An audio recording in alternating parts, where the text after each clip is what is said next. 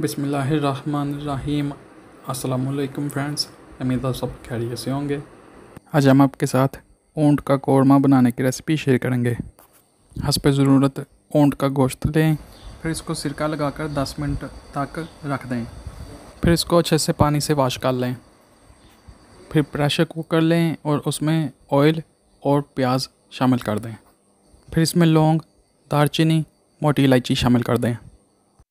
फिर इन चीज़ों को थोड़ा सा कुक कर लें। फिर अदरक और लहसुन का पेस्ट और गोश्त शामिल कर दें। अब गोश्त को भून लें। फिर सुरख मिर्च पाउडर, हल्दी पाउडर और दही शामिल कर दें। और फिर इसमें हसब ज़रूरत पानी शामिल कर दें।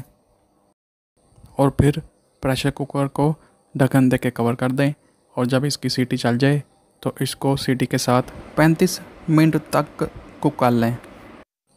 कुक कर लेने के बाद इसमें नमक और सूखा धनिया और ज़ीरा कूटा हुआ शामिल कर दें। नमक इसमें कम शामिल करें और उसके बाद आप टेस्ट करके इसमें ज़्यादा कर सकते हैं आखिर में। और फिर हरी मिर्चें शामिल कर दें और अच्छे से इन सब चीज़ों को भून लें। और फिर गोश्त को चेक कर लें कि ये गल गया है कि नहीं।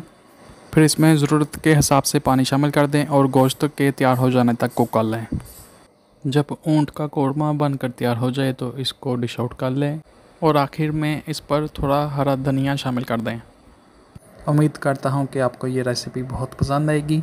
जो मेरे चैनल पे नए हैं, वो मेरा चैनल सब्सक्राइब कर दें, वीडियो लाइक कर दें और दोस्तों के साथ शेयर कर दें। अपना बहुत ख्याल रखिएगा, मुझे दुआओं में याद रखिएगा। अल्लाह हाफिज़।